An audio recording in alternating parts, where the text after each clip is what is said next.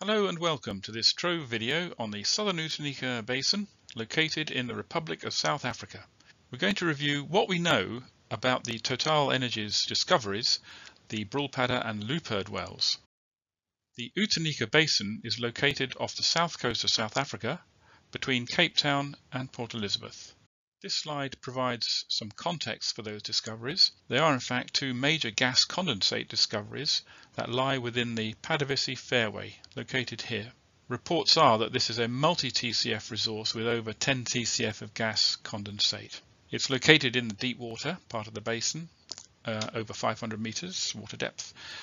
Note that most of the discoveries to date have been in the adjacent Bredasdorp basin to the northwest and within that basin there are three gas fields, the EM, the FA and the FO gas field, which supply gas as a feedstock to the important Mossel Bay plant, a gas to liquids plant that provides um, liquid petroleum products for the domestic market. And the Total energy uh, discoveries are set against the backdrop of energy supply challenges in South Africa. More of that later. It's worth pointing out that the potential of the southern Outeniqua Basin was originally recognised and mapped by the Ranger Oil team, uh, later CNR, uh, together with Jacques Roux, who was seconded from PASA um, and worked with the team in Guildford. And this was all done before the technology to actually drill in these uh, challenging metocean conditions was uh, developed. This slide provides a tectonic setting. The southern Outeniqua Basin is one of uh, several sub-basins of the Outeniqua Basin, uh, and the Paddavissie discoveries are uh, located down here in the southwest of the southern Outeniqua Basin. The southern Outeniqua Basin is separated from the northern sub-basins, the Bredasdorp, Pletmos, Gamtoos, Algoa, by this west-southwest trending lineament, which is probably an extinct strike-slip fault. The southern side of the southern Outeniqua Basin is defined by this feature, the Diaz Marginal Ridge. It's a basement high. The northern basins actually comprise a series of uh, Mesozoic oblique extension half-grabens that use a pre-existing or inherited Paleozoic structural grain of the Cape Fold Belt, which is very evident on shore. However, these, uh, this, these, these trends are not that obvious in the southern Outeniqua Basin, and it's quite probable that the tectonics in, in this basin are more dominated by strike-slip faults, which were active at the same time during the Mesozoic separation of Africa and South America. This is a stratigraphic column for the Bredasdorp Basin. It is also applicable to the uh, deep water basins, we believe, uh, and shows that the Paddavissie fairway is uh, indeed a post-rift play uh, of a lower Cretaceous stage uh, the Paddavissie Reservoir comprises a basin floor turbidite fan complex of Albian age. These other symbols here show the occurrence of fields within the Bredasdorp Basin, and you can see that the Paddavissie play fairway is equivalent to the youngest of these fields. In terms of source rock, there are a number of source horizons in the Lower Cretaceous section, and uh, the belief is that these would be um, oil and gas mature enough to provide a, a charge for the Paddavissie fairway. This is a Total Energies slide illustrating uh, the depositional model for the Paddavissie fairway.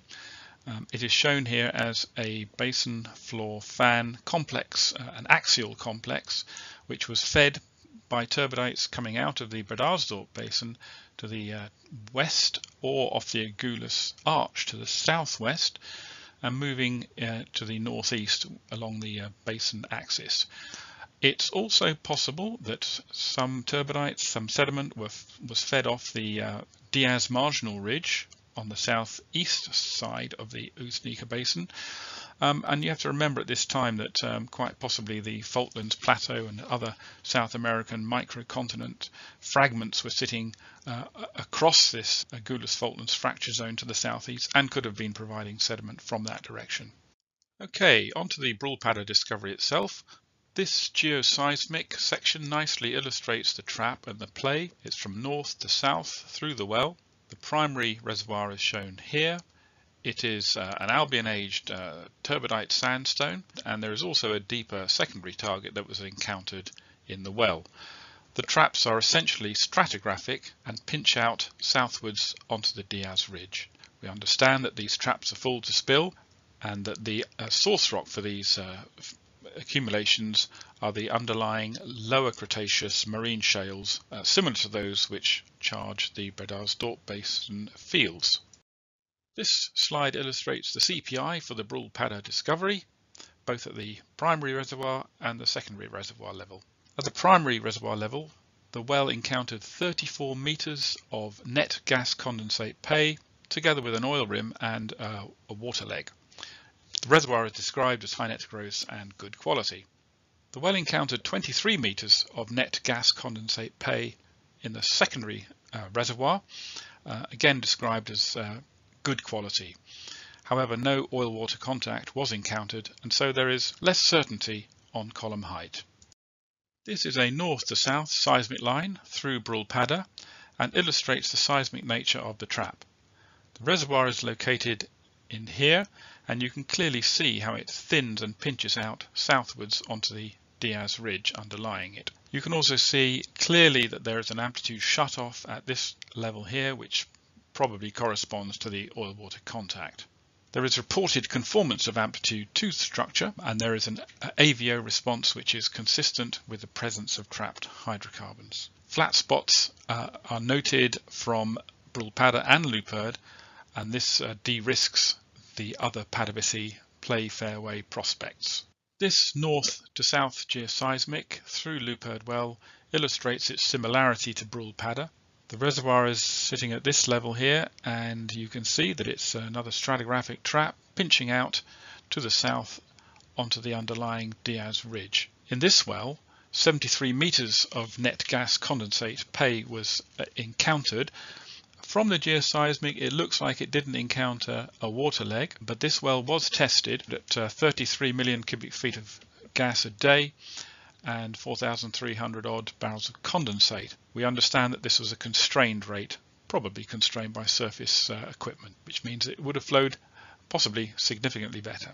Total Energies describe the connectivity of this reservoir as uh, better than expected. So that's uh, positive news. And again, the success here helps to de-risk the other Paddavissie prospects. Okay, what next for Block 11B, 12B?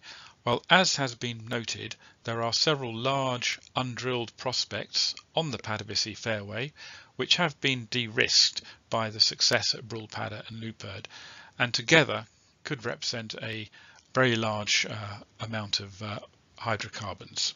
This might offer a route for South Africa to lessen its dependence on oil and gas imports and also on coal for electricity generation. For comparison, we've included uh, an image of the Johan Sverdrup field in the North Sea, a very large field, just to show how it compares in aerial size to the prospects and discoveries on the Paddavissie fairway. This is an interesting slide. We like this one. It's a composite seismic section through all of the Paddavissie discoveries and prospects at this level here, uh, with Platana in the west, going eastwards through Woodboom, through Luiperd south and into Blasop. It's a good slide because it shows how the remaining prospects are have a similar character to the two discoveries at Brulpadda and uh, Luiperd. And as such, offers um, uh, these prospects offer a huge upside to the existing discoveries. Uh, do note that there is a shallower seismic anomaly up here which Brulpadda would have encountered. It looks like it has a hard top compared to the Paddavissie soft top responses and so we think this is probably some sort of igneous sill which are known to occur in the area. This slide illustrates some of the infrastructure and energy supply issues of South Africa. It comes from the PASA brochure dated 2017, so it's a little out of date. Eskom provides all the domestic electricity for South Africa, but is sourced 90% from coal. Now, South Africa does have proven coal reserves of uh, 30 billion tonnes, at least that was in 2017, and the domestic oil consumption is 575,000 barrels of oil a day at that time. However, the Mossel Bay gas liquids plant only produces about 6% of that. So aside from some coal to liquids generation, South Africa imports 66% of its oil, at least it did in 2017. Now the Mossel Bay feedstock comes from the Bredasdorp fields as previously mentioned, but they are in serious decline, so would be looking for other sources of gas. Gas is imported from Mozambique, but that's a long way from the Western Cape. Uh, which is a, a, major sort of population centre. Of course, there is a Kudu gas field, a stranded gas field on the Atlantic margin, which has struggled to uh, be able to provide gas or electricity to the Western Cape. But who knows, with the new discoveries in the Orange Basin at Graff 1 and Venus 1, together with these uh, major uh, discoveries in the southern Outeniqua Basin, the whole energy scene in the uh, Western Cape could be transformed. Just a quick comment about the information presented. It's all come from the Trove database. This is just one page to illustrate some of the information that is held there. Much, much more is available to those who subscribe to Trove. So with oil and gas supply issues in mind, what is a likely development scenario for the Brulpadda and Luiperd discoveries? Well, as has previously been mentioned, the Mossel Bay gas to liquids plant is running short of gas. So an obvious solution for that would be to produce these deep water discoveries, gas condensate there, uh, back through the FA platform to supply Mossel Bay. However, there is almost certainly much more gas condensate uh, in the deep water discoveries than Mossel Bay can currently handle and that raises some interesting possibilities about what to do with the, uh, the excess. Clearly one option would be to uh, expand the Mossel Bay plant so that it can handle much more liquid. It may also be that the uh, power station here can take some. Maybe there'll be other power stations that could be built to, to take um, the excess. Um, it's uh, interesting to speculate. So what of the other players in the area? Just to key you in, this is the outline of Block 11B12B held by Total Energies and the Paddavissie discoveries are in the southwest corner down here. The blocks to the north and the west are held by PetroSA and include the Bredasdorp Basin existing producing fields. To the south, this large area of acreage is also held by Total Energies. It's deeper water than 11B12B. It might extend onto oceanic crust, and so it'll be interesting to see what they're chasing out there. What's of particular interest right now is this block here, held by New Age. Uh, it covers the uh, Gamtoos and Algoa basins, but also extends onto the southern Outeniqua Basin. This little inset shows that in a bit more detail.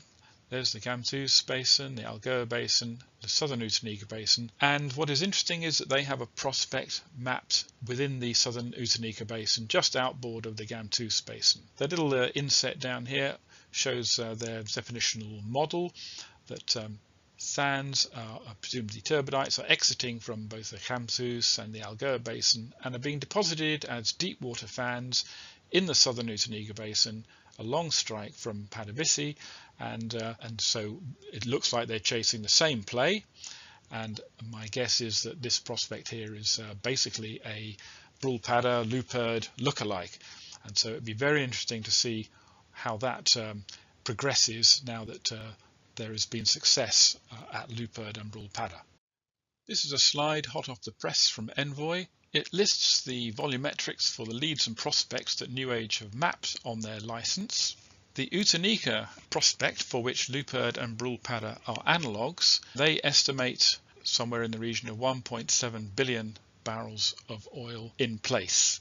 They have also modelled the seismic response across this prospect. Their modelling suggests there is a class 1 stroke 2 AVO anomaly. So, in summary, Brulpadda and Luiperd are two major post-rift gas condensate discoveries that are located within the uh, Paddavissie Fairway, which is an Albian-aged deep marine uh, fan complex. They open up the deep water basin uh, prospectivity. Um, there are other prospects which have been de-risked by these discoveries, including the other Paddavissie prospects uh, and also the prospects in the New Age uh, acreage. We're looking at a probable multi-TCF resource here uh, with multiple development scenarios possible. They are timely discoveries for South Africa in terms of its energy challenges and its oil and gas supply challenges. The next African videos will be an update in news in uh, South Africa, Namibia and East Africa, and also on the Rovuma Basin, where there are supergiant gas discoveries in the order of 100 TCF, all very interesting and exciting. This slide shows where we've put together recent Trove news videos and if you subscribe to our YouTube channel you will get alerts for other upcoming videos. If you've enjoyed this video please give us a thumbs up and ring the bell and you'll be notified when we produce a new video. Finally, if you want to get in touch, there's the email and web address too. Thank you for watching.